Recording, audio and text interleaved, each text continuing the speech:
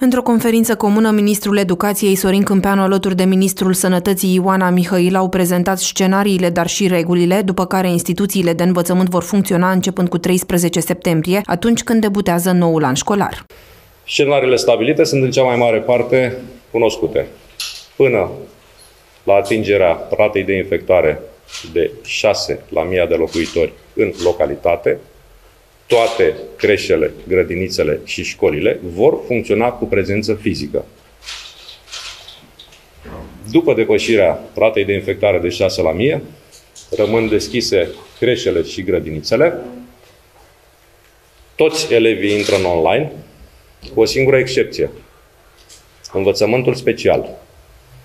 De altfel, pentru învățământul special, activitățile de terapie, activități prin care elevii cu cerințe educaționale speciale învață practic să supraviețuiască, vor fi permise și după depășirea ratei de infectare de 6 la 1000. Este singura excepție. După depășirea ratei de infectare de 6 la 1000, nu vor mai fi permise nici măcar activitățile remediale. Credem că am acoperit de data aceasta toate situațiile posibile. Spre exemplu, la apariția unui caz într-o formațiune de învățământ preșcolar sau într-o clasă, da, poate e mai bine să o las pe doamna ministru să prezinte această situație. Pentru că uh, modalitatea de lucru va avea la bază parametrii din domeniul medical. Doamna ministru, vă mulțumesc. mulțumesc. Aș vrea să discut înainte despre măsurile de prevenție care se mențin Discutăm aici de distanțarea fizică, de aerisirea uh, quasi permanentă a spațiilor închise din școală, punând accent mai ales pe spațiile cu risc mare de transmitere.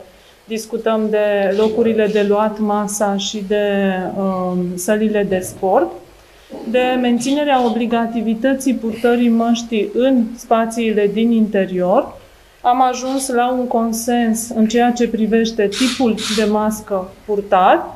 Am recomandat purtarea măștii de tip medical pentru că este standardizată, dar am uh, revenit și cu câteva precizări despre condițiile pe care măștile de tip textil trebuie să le îndeplinească pentru a putea fi acceptate și anume să fie adaptate feței și să acopere corect nasul și bărbia și am precizat că se interzic alte tipuri de dispozitive uh, care sunt uneori folosite pe post de uh, mască.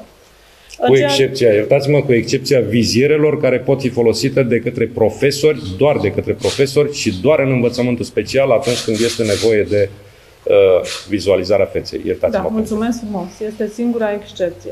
În ceea ce privește testarea și în ceea ce privește măsurile care se iau atunci când apare un caz pozitiv, fie că este un caz simptomatic care a fost testat în școală și diagnosticat pozitiv, fie că Direcția de Sănătate Publică sau părintele a anunțat școala că unul dintre copii s-a pozitivat, atitudinea este, dacă vorbim de clase de învățământul preșcolar, și de clasele uh, de la pregătitoare până la clasa a șasea inclusiv, ca elevii din clasa copilului care a fost diagnosticat pozitiv să uh, continue învățământul online timp de 14 zile, dar se poate reveni începând cu ziua a 8-a Uh, prin testare uh, antigen rapidă în condițiile în care rezultatele acestor teste sunt negative.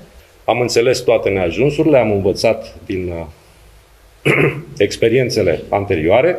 Orele de educație fizică se vor putea derula fără mască de protecție, în spații închise, până la rata de infectare de 2 la 1000